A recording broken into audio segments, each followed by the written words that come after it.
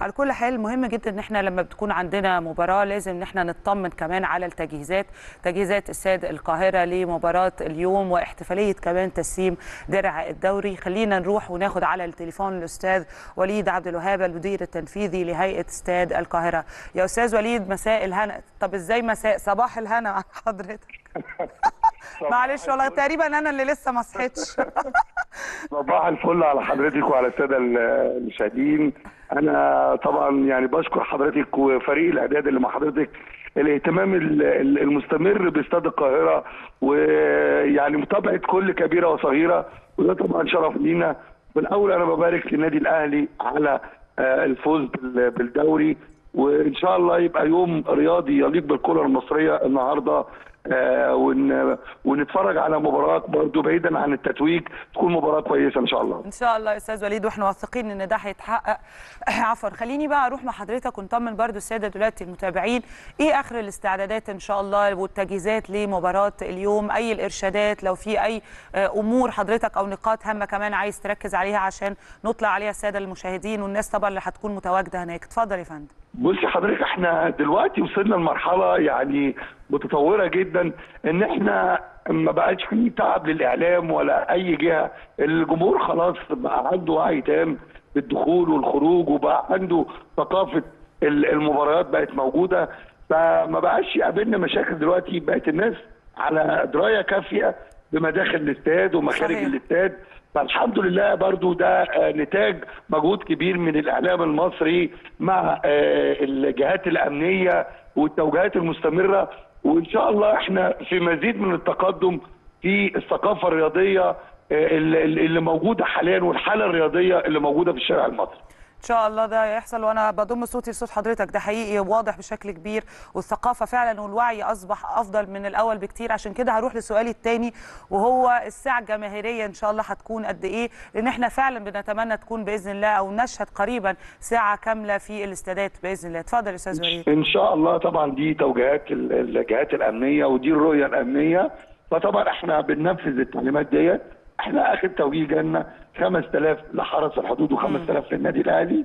دي الساعة الجماهيرية للمباراة. وطبعا ده عدد كافي مش هياخد أكتر من ساعة في دخول أو خروجهم من من استاد القاهرة. مش مسبب أي إزعاج أو أي مشاكل بالنسبة لنا. هو تحدد الدرجة الثالثة آه، دخول جماهير النادي الأهلي من سراح سالم والرشدان للشخصيات المهمة الفي اي بي ومجلس إدارة الفريقين.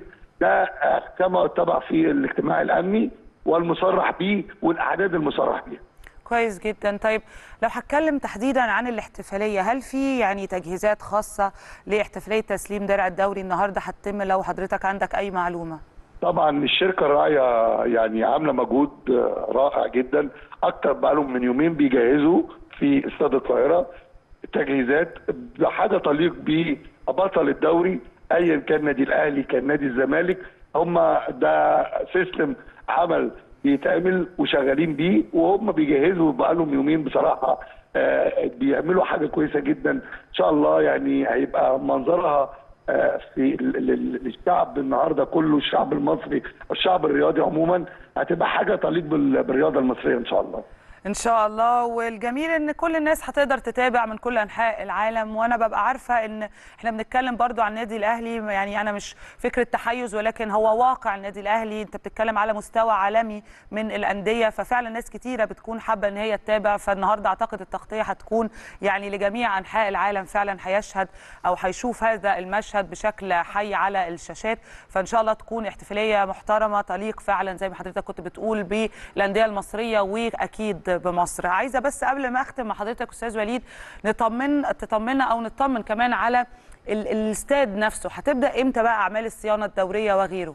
شوفي إحنا الاستاد يعني شال أكثر من طاقته السنة دي وإحنا طبعا يعني سيادة الوزير طبعا يعني مشكورا. استاد القاهرة ده بالنسبة له بيمثل له حاجة كبيرة جدا فهو مهتم جدا بالاستاد آه، بكل تفاصيل الاستاد. وطبعا كان مش يعني محتاج الملعب عايز يشوفه على طول بأحسن صورة. إحنا جينا على نفسنا جامد جدا. أخرنا الصيانة أكتر من مرة. صحيح. عشان خاطر ما ما نعطلش الدوري. ما نعملش مشكلة في الدوري السنة دي. آه، تأثر على آه، مسيرة ال- ال- ال- الرياضة اللي إحنا ماشيين فيها.